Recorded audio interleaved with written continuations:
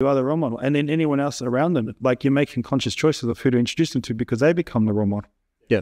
Right. So it, it's like, it's just, you, you, you, you tend to move towards how you want to influence your children, but as well as how you want to influence others. Like it's just, Yeah.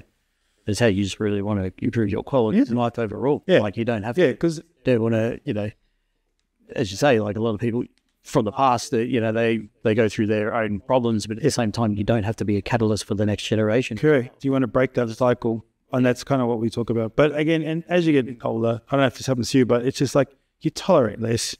Like, you know, really, it's, and it's not about like, you just don't have time to deal with like manipulators or narcissists or anyone like that. That Yeah, yeah, we, the, like, there's, yeah, like, you know, I grew up to always be kind and generous to people. Like just the way, just as what up parents Yeah. very much influenced that.